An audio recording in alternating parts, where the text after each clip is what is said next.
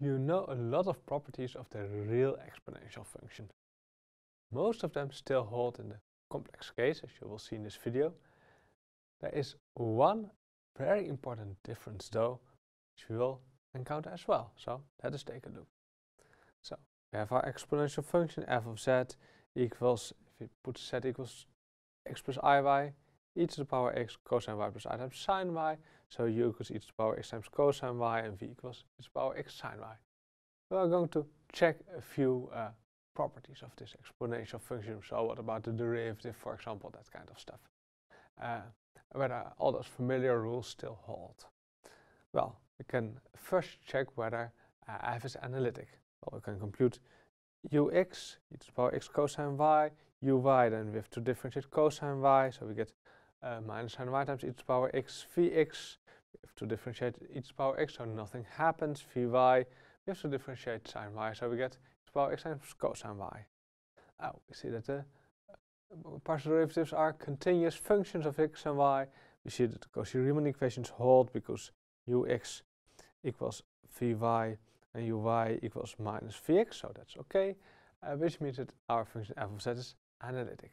So also know that the ddz of the e to the power z is in that case ux plus i times v uh, x equals ux equals e to the power x cosine y, vx equals e to the power x sine y. So we get back our original function. So the derivative of the exponential function is the exponential function, just as in the real case. What about properties like e to the power z1 plus z2? Can you split it up as e to the power z1 times e to the power z2? Well, we can try. Use the definition and see whether this property is still satisfied. So e to the power z1 equals e to the power x1 cosine y1 plus i times sine 1. The same for e to the power z2, e to the power x2 cosine y2 plus i times sine y2. And just take the uh, product of the two and see whether you get e to the power uh, z1 plus z2. Well, let's see what do we get. Uh, first term times second term, you can take the real e to the power x1 and e to the power x2 together as e to the power x1 plus x2 because there we just have our real exponential and work out the brackets. Because cos y1 cos y2 uh, minus sine y1 sine y2 it's real part over here. And we get the cosine y1 uh, sine y2 plus a sine y1 cosine y2 as our imaginary part and then we recognize the formula for cosine y1 plus y2 and sine y1 plus y2. So we have as real part is the cosine of y1 plus y2 and as an imaginary part is the sine y1 plus y2.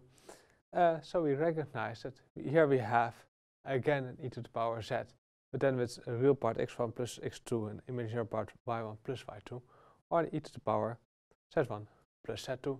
So indeed, the familiar rule e to the power z1 plus z2 equals e to the power z1 times e to the power z2 still holds. This has one nasty consequence though, because if we compute e to the power z plus 2 pi i, and we get e to the power z times e to the power 2 pi i, well, okay.